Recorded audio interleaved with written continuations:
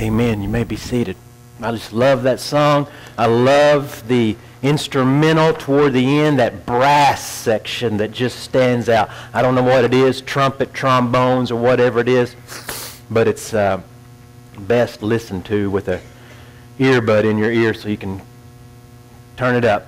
Uh, Galatians chapter 3 where we'll be at. Put your finger there, and uh, we'll be there in just a moment. But in 1899, a little girl named Lyndon was born.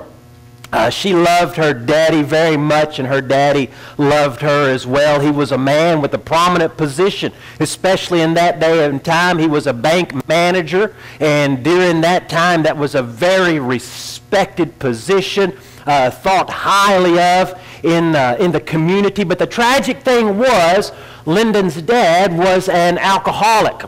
he lost his job, he lost his self respect, he nearly lost his wife and his three girls as well.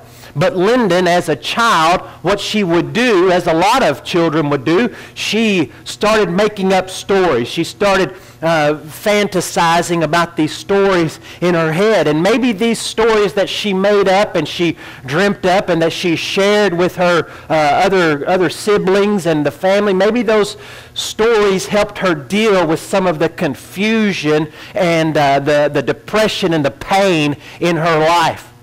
So she makes up these stories about how a lady would come into their house and change everything around. This lady revived everything. She repaired everything. You would have thought that things at some point would have gotten better in Lyndon's life and the life of the, of the family, but things just got worse. The father at 43 dies of tuberculosis. Things went continued to spiral down to go from uh, to get to progress and even to a worse situation but she continued to make up stories about this lady. This lady who would blow in from the east on an east wind and she would come into the home and she would make everything happy again. Lyndon was eight at that time when she began telling these stories. You don't know her probably not as Lyndon, but you know her possibly better as Pamela Travers. P.L. Travers. Pamela Lyndon Travers. And that lady that would blow in and change everything was Mary Poppins. P.L. Travers kept that story and that hope alive for her whole life. She was always hoping for somebody to come in and change the past. P.L. Travers was always hoping for somebody to reverse the irreversible. She was always hoping for somebody to come in and save the unsavable. She was always longing for somebody to come in and redeem the irredeemable. P.L. Travers spent time with uh, the Native Americans, with the Indians here in the United States. She was looking, she was looking to them, looking for them to change her past. Maybe she could find something to change the unchangeable in her life when she didn't find it with the Native Americans, she went to Japan and she studied and sat down with the Zen masters in Japan. And she was again looking for somebody or something to reverse the irreversible in her life. She wanted something to remove the pain. She wanted something to remove the hurt and the grief that she had lived with her whole life. She was looking for somebody to blow in to her life and change it. But she never found it. P.L. Travers' grandchildren said of her, when she died, she died loving no one and having never been loved by anybody. She looked for love. Pamela Travers looked for love everywhere but the cross. Maybe you come this morning. Maybe you're sitting here. Maybe you're longing, looking for something to change in your life. You're looking to change the past. You want to know that your future is secure. You're wanting to repair some kind of hurt in your life. And you wonder, does the cross reveal anything? Is there any hope in this empty tomb? Is anything revealed on a day like today? Or will I leave here with the same old hopelessness, unchangedness? Will I leave here in the same dire situation that I came in? There is hope, friends. There is a change. Galatians chapter 3. the cross does change things. The cross makes a difference. The empty tomb, for sure, makes a difference. The empty tomb did something for you that you could not do for yourself. Galatians chapter 3, verse 13. Christ redeemed us from the curse of the law, having become a curse for us. For it is written, Cursed is everyone who hangs on a tree. Maybe this Easter you're asking, what can change in my life? How can I experience this change? Can the unchangeable be changed? Can the unsavable be saved? Can the irredeemable be redeemed? And the answer is yes.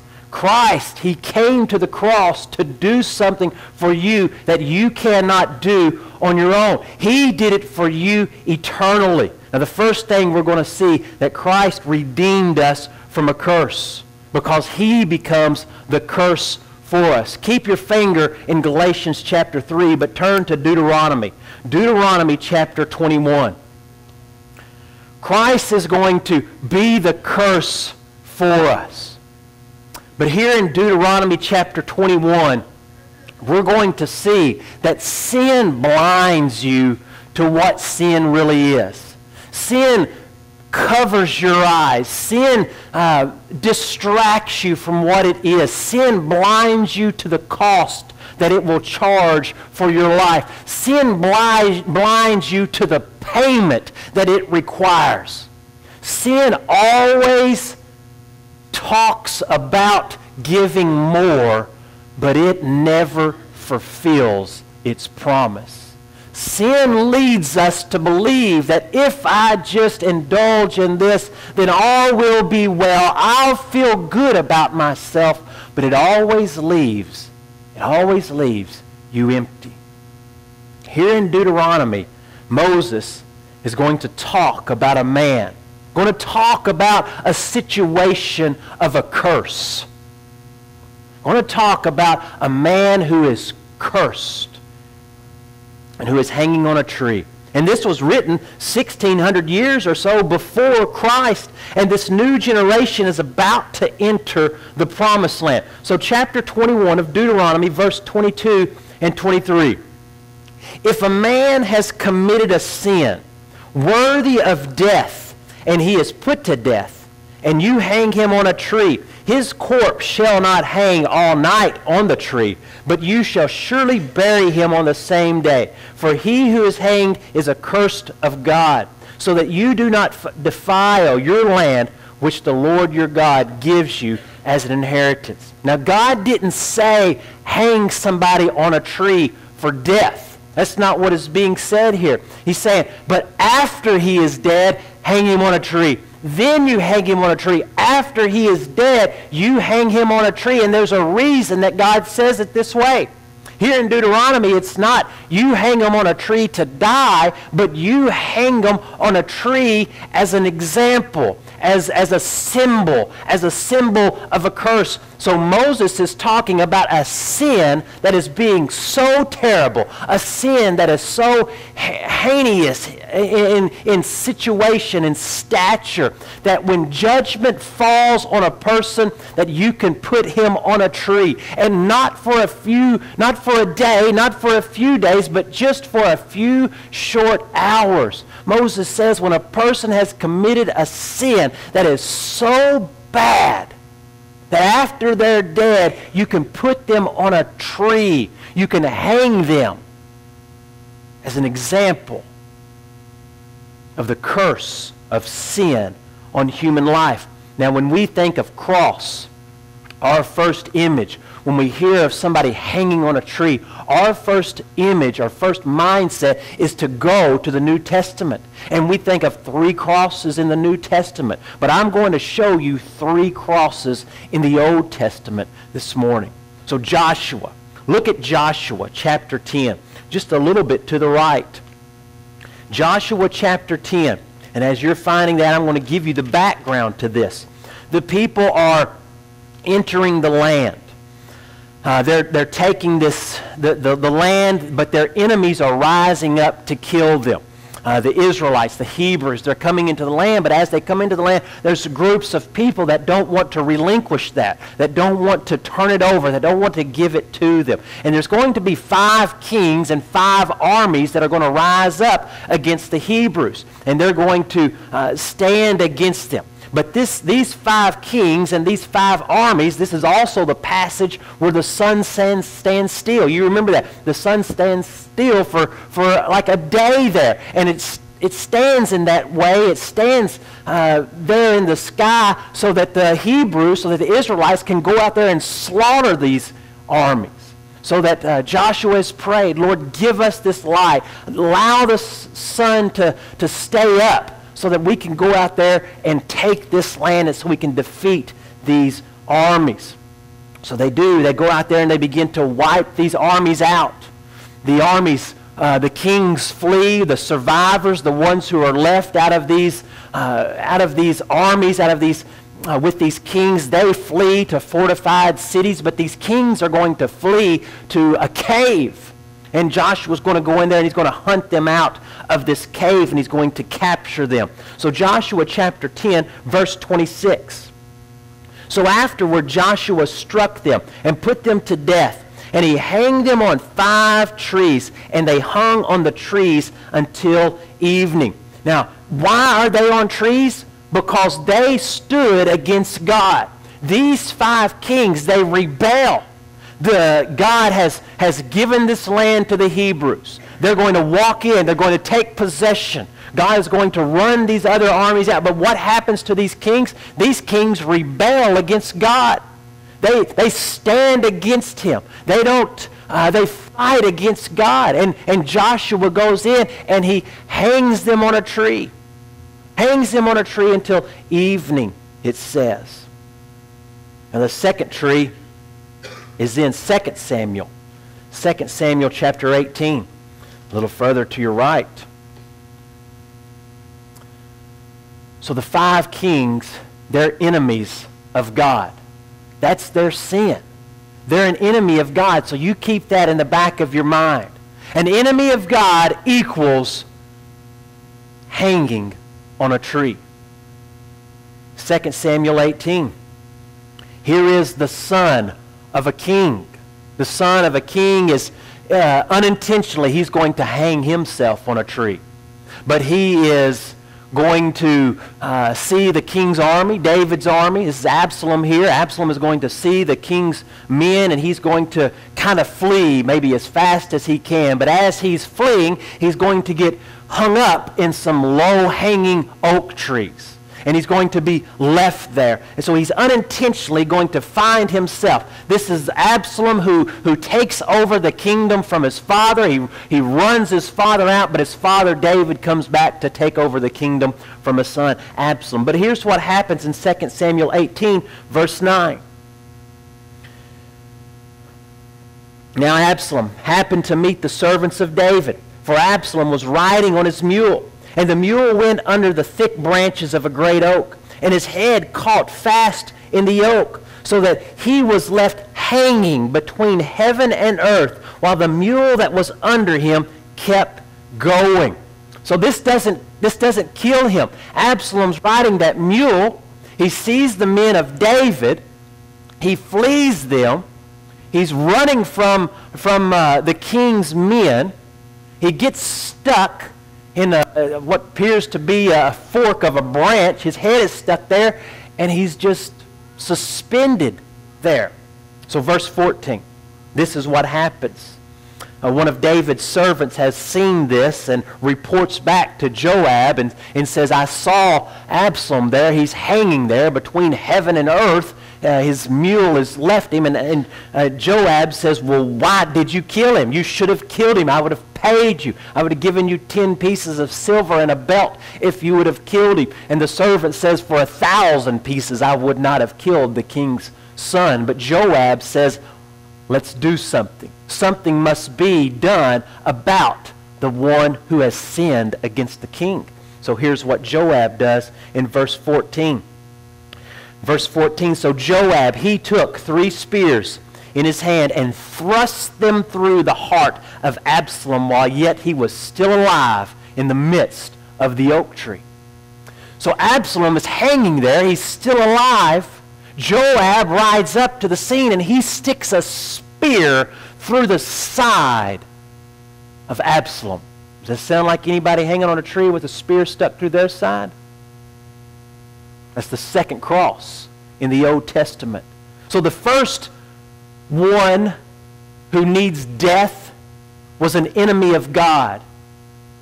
That was worthy of hanging on a tree.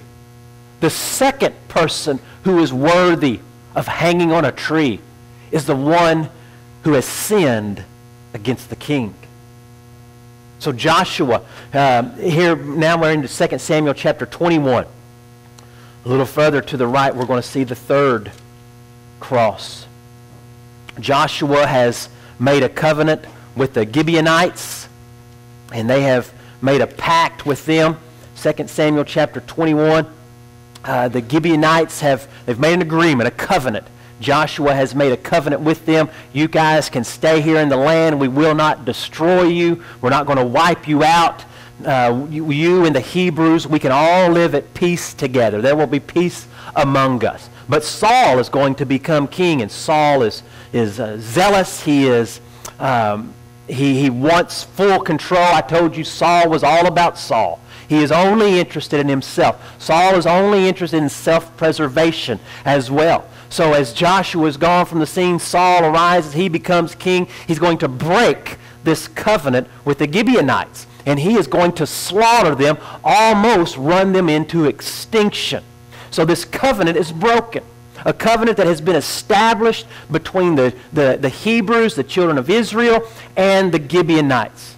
So Saul dies, and, so, and uh, David becomes king. And David wonders in, in verse 1 there, you can read it, you can pick up on the reading. David wonders why, year after year after year, for three years now, we have gone through a drought. There's a drought in the land. God, and he petitions God, God, why is there this drought in the land? God reminds him of that covenant that was broken. So David, David contacts the Gibeonites and says, how can I make this right? How can I, uh, how can I set this injustice correct? How can we uh, correct this?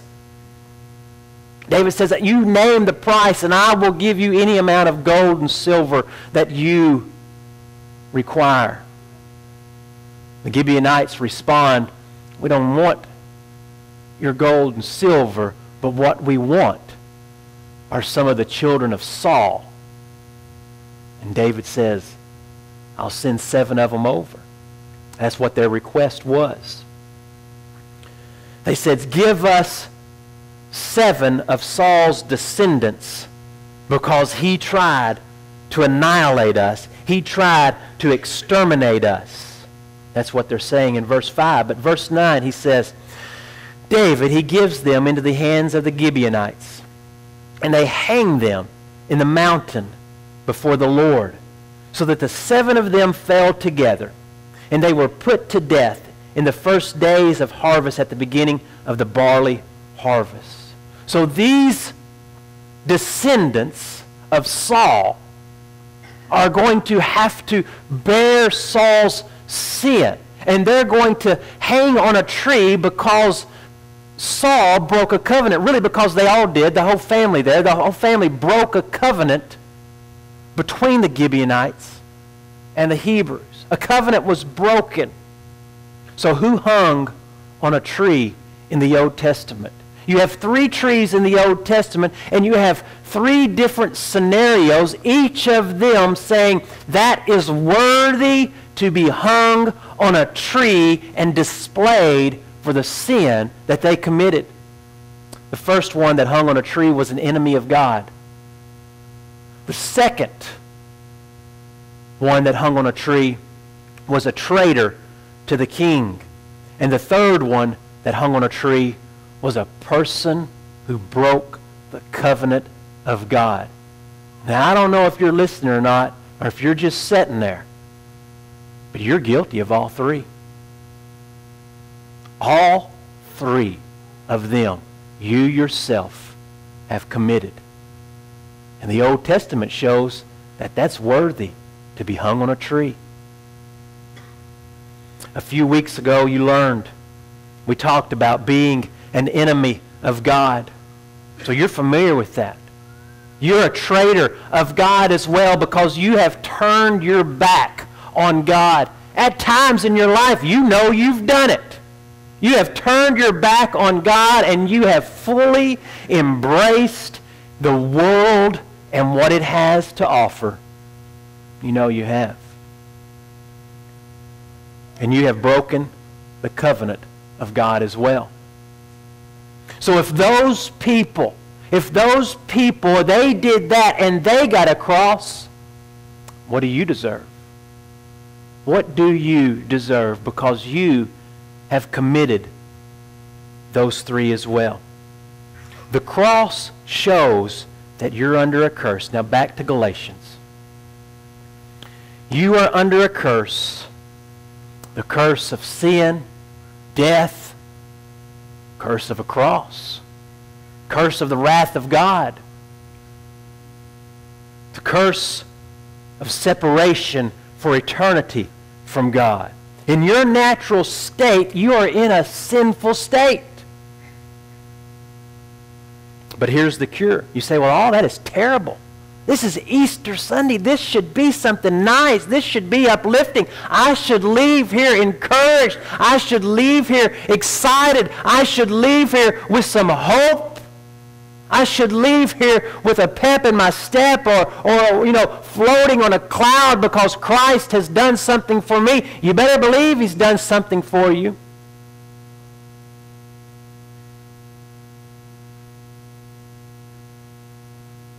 Galatians 3, verse 10 says this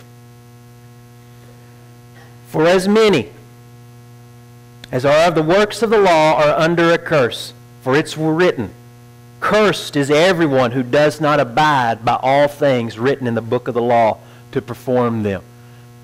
That's what the Scripture says. The Scripture says, Cursed is everyone who does not abide by the law. And what is the law useful for? The law is useful. It's a schoolmaster. It's to show you that you cannot keep the law. That was the purpose of the law that you on your own cannot keep the law. Nobody apart from Christ has ever been able to keep the law. So what are you? Verse 10 says cursed. You're cursed. You're cursed, and under that curse, you're worthy to be displayed on a tree. But, but verse 13, Christ redeemed us from the curse Cursed is everyone who does not abide by all the law. Cursed is everyone who does not follow the law. Cursed is everyone who does not live up to a holy God. Christ redeemed us from the curse of the law, having become a curse for us. Now here's what that means, and this is good. Verse 10 here says we're under the curse, but this word become here in, in in verse 13, Christ redeemed us from the curse that we're under. Verse 10 says that. Christ redeemed us from the curse of the law, having become. That word become in verse 13 means Christ, Christ is over us. We're under a curse. Here's curse. Curse sits here because you have broken the law because you have not lived up to God's standard, because you have not lived up to the holiness of God you're under that curse. That curse sits on top of you. The whole weight of that curse is on your shoulders. You can't stand under that curse. There is no way you can enter the presence of a holy God under that curse. because you've sinned. You've broken the covenant of God. You've rebelled against the king. So you're cursed. You're under that curse. Verse 13 says, Christ redeemed us from what you're under. That redeemed right there in verse 13, that means you have been purchased out of. Christ comes. You're under a curse, but Christ comes in and he comes between you and that curse. It's no longer curse and you, it's curse, Christ, and then you. Christ separates you from the curse. Christ takes the full weight of that curse. Christ takes the full magnitude of that. And it says Christ redeems us from that curse. He became a curse. You were under a curse. Christ became the curse. He comes in between you and the curse. And then it says he redeems you. Now that redeem means that he goes down. That means that, that somebody goes into the marketplace. Redeems. Somebody goes into the marketplace and purchases something. Christ redeemed you. He went into the marketplace of the world Christ comes from heaven, comes from his home in heaven, and he goes into the marketplace of the world, and he walks up to the vendor there, and he says, What is the price for humanity right here? Because humanity on its own is under a curse, and I'm going to come between humanity and the curse. I'm going to take that. I'm going to redeem them. And he comes up to Satan there at his marketplace, and he says, You name the price, and I will redeem them. And Satan says it'll take your blood, and Christ says, I'll give my blood. You take the chains off of them, and you put them on me. That's what the redeem means. Christ went into the marketplace of the world, and he purchased you from the curse. And it was his blood that paid the price. You could not bear it on your own, but Christ became the curse for you and removed that from you. Why? Who went to the tree? Who should have went to the tree? Who broke the law? You did. You broke the law. But who went to the tree? You're not going to a tree, are you? You're a believer. You will not go to a tree because Christ went to the tree for you. Abraham Lincoln was shot at a little after 10 p.m. on April the 14th, 1865. He lived until the early, very early morning, I believe, of the next morning there, April the 15th. They rushed him. They picked up his body there at Ford's Theater. Having been gunned down, he, they picked up his body. They rushed him to, the, to a, a house, a room next door across the street there. They uh, placed him on a, on a bed, and today you can go into that house, you can look at the pillowcase, you can look at the blood that is stained on that pillowcase, you can look probably at some clothes that are there, you can look at a, a bloody towel, a bloody sheet, you can see the blood of Abraham Lincoln that was spilt out, that was poured, that was left as a stain to remember. He's the great emancipator, the one who freed the slaves. The slaves had chains on them. They were slaves to bondage. They were under bondage. But yet the blood of Lincoln is left to be a reminder of what the tragedy of this nation, of what it went through. Lincoln rescued the slaves from the chains. But his blood can do you no good in eternity. His blood will not save your spirit. His blood will not save your soul. You can go, you can see his stains, you can see where he was shot, you can see where this man died. You can see his blood.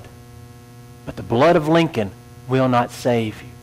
The only blood that will save you is the blood of Jesus Christ who took the curse for you. So you can be happy this resurrection morning. You can be glad. You can be joyful. You can turn your frown upside down because you don't have to go to a cross.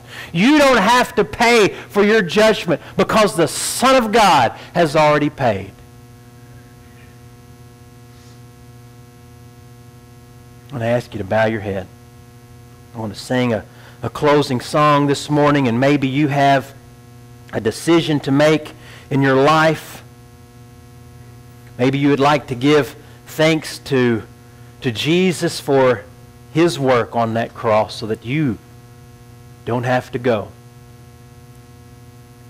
So as we sing this last song, if the Spirit moves in you to make a decision, we're going to be taking communion as well, and maybe you want to ask for forgiveness also. Maybe you want to reflect back on some things. We sing this song, if you need to come forward, if you need to take that celebration of, of Jesus, the, the thankfulness of Jesus, what he's done for you, I encourage you, come out. Step out of your pew. Step out of that aisle this morning. Let me pray with you. Pray that you take Jesus by the hand. You let him take your curse for you because you cannot carry it. Amen.